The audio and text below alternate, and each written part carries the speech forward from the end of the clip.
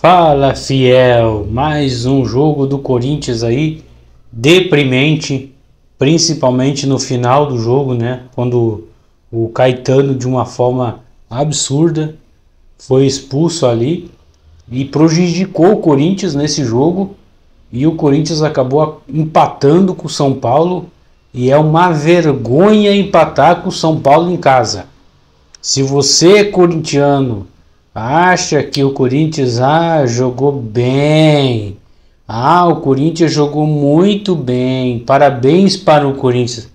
Cara, tu não é corintiano. Tu não é corintiano. O Corinthians tá numa fase difícil. O Antônio Oliveira é limitado, não sabe mudar o time. É um time fraco.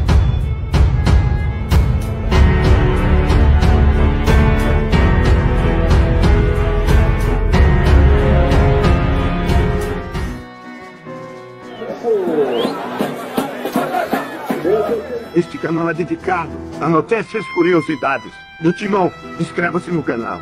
Então, o Corinthians empata com o São Paulo num jogo muito ruim, né? um jogo ruim para o Corinthians. Começou perdendo, empatou, depois tomou o segundo gol, empatou de novo. Então, assim, cara, jogando dentro de casa com mais de 40 mil pessoas, não é possível que o time tenha essa atitude que teve hoje. Alguns jogadores têm que tirar o chapéu aqui, que tem que elogiar, que é o Carlos Miguel, mesmo saindo, olha só, que piada, né? É uma piada, é uma piada pronta. É uma piada pronta. O Carlos Miguel vai sair do Corinthians e o Corinthians conta com o Carlos Miguel como um dos melhores jogadores em campo, junto com o Yuri Alberto, na minha opinião, que também jogou bem, correu, se dedicou, não fez gol, mas jogou bem.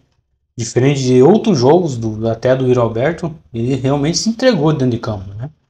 Se tu pegar ali os lances do Alberto, ele estava correndo, se esforçando, batalhando, sabendo o que, que é isso aqui, ó. Sabendo o que, que é isso aqui. Sabendo o que, que é isso aqui. O que, que é ser Corinthians, né? Mas tem jogador que não sabe. Caetano é um deles. Segunda vez que o Caetano é expulso num clássico contra o São Paulo. E deixando o Corinthians aí numa situação difícil no jogo. Porque daí o que, que aconteceu? O Corinthians teve que ficar na defesa. E aí eu não, não, não vou criticar o, o Antônio Oliveira por isso. Porque, ah, ele tem culpa? Tem, muita culpa. Fraco, treinador fraco.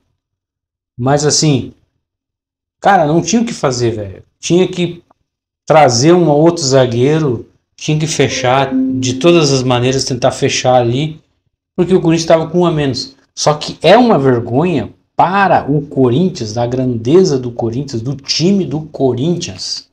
Aqui, ó, o time do Corinthians, esse símbolo aqui, o time jogar para trás, dentro de casa. Jogando na Neoquímica Arena, com mais de 40 mil torcedores, o Corinthians acuado, com medo do São Paulinho, que não é tudo isso. Difícil.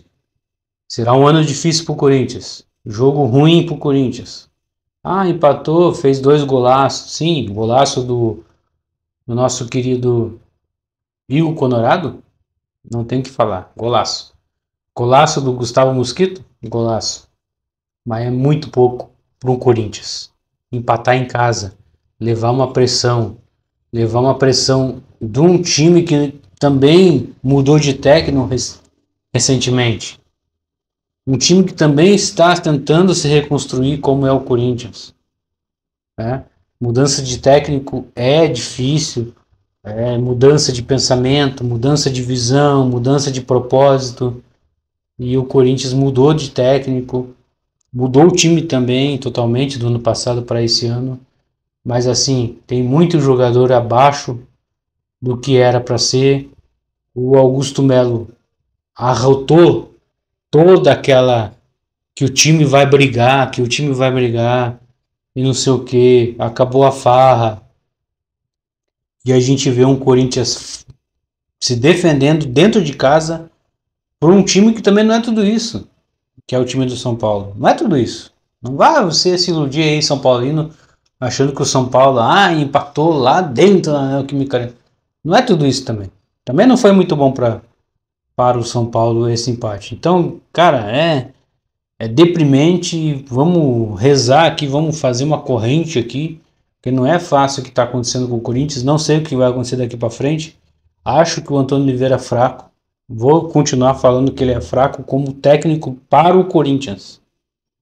Não que ele seja fraco em si. Não tenho nada contra o cara. É o Corinthians, cara. É Corinthians, mano. mano, você tá no Corinthians, velho. Você tá no Corinthians. No Corinthians. Um dos maiores clubes do Brasil e do mundo. E não pode jogar como jogou dentro da Neoquímica Arena, como jogou recuado. Né? Mesmo com um homem menos, não interessa. É Corinthians, cara. Tem que estar tá sempre brigando. Time até que brigou. Não tô aqui também metendo o louco no Corinthians. O Corinthians até que brigou. Não tô criticando totalmente o time. Brigou. Teve falhas pra caramba. Kaká, segundo gol contra. Não se pode acontecer isso, né, Kaká? Mas tomou segundo gol contra. Não pode acontecer. Tirou do, do Carlos Miguel totalmente. O Carlos Miguel tava seguro na jogada. Se tu pegar voltar o replay ali, tu vai ver que o Carlos Miguel tava seguro para pegar a bola ali e abafar o jogo. Mas não. Aí ele quis enfiar o pé ali, onde não era para enfiar o pé. E aí, cara, e aí falta o que? Falta treinamento, falta orientação do treinador também. Tem culpa também o treinador nesse momento que não entende tanto o que está acontecendo. Então, vamos ver o que vai acontecer nessa semana aí. Um empate todo mundo tá falando, ah, jogou com raça, jogou com raça, mas empatou em casa. Não tem muito o que elogiar, não tem muito o que bater palma. Como o Antônio Oliveira ficou batendo palminha no final do jogo, que foi horrível, foi para mim assim que eu vi, foi terrível ver o Antônio Oliveira batendo palminha no final do jogo, né? Você é inacreditável, né? Então valeu, galera. Você que assistiu até aqui, inscreva-se no nosso canal e vamos torcer, vamos pro próximo jogo agora, focar na próxima partida para poder se erguer cada vez mais. Pelo menos não estamos na zona do rebaixamento por enquanto. Por enquanto. Mas vamos que vamos, Corinthians. Vai, Corinthians.